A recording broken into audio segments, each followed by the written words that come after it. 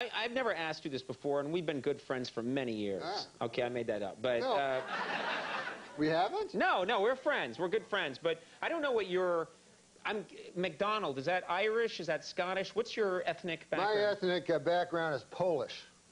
Are you really Polish? Wow. Polish people, I didn't realize that. Yeah. Macdonald. You don't. Well, my, my parents changed their names. They Right. had to because of the constant ribbing they'd get for being Polish, you know. Mm-hmm. And uh, so they changed their name to Macdonald. But, uh, you know, it's one of the things that you can, you know, I mean, I get a little upset about it, you know, because, uh, you know, All you the can't. Polish jokes yeah, stuff. you can't make jokes about other people, but for some reason you make jokes about Polish people, you know. Right, right. I don't like it.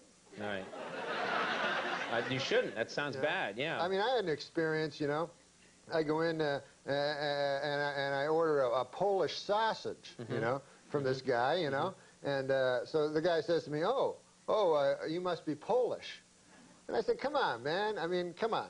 Think about it, what you're saying. You know, I'm trying to, I'm trying to knock some sense into this fellow's head, maybe give him a, a wider world view, you know. Sure. Yeah. Yeah. I said, you think because I order a Polish sausage, I'm Polish. I, I said, what if somebody came in here and ordered French toast? Would you, would you think he was French, you know? Right. I mean, right. what if somebody came in here and ordered a, why, a, why a Belgian waffle?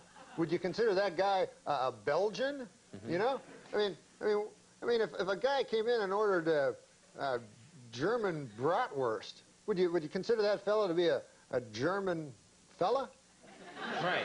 I Right. said, what if a guy came in and ordered German potato salad? I suppose you'd think he was German too. Yeah? Yeah. Yeah. You know? What if a guy, I said, what if a guy, Wow. You talked to this guy for a while. I, I'm telling you, man, this,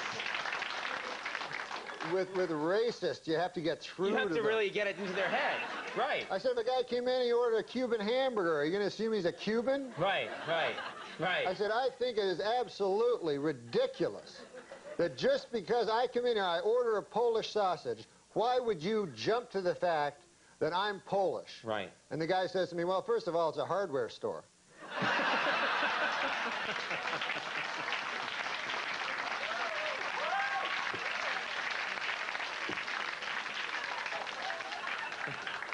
And you hate Polish jokes, don't you? You just I, hate them. No, I think they're disgusting.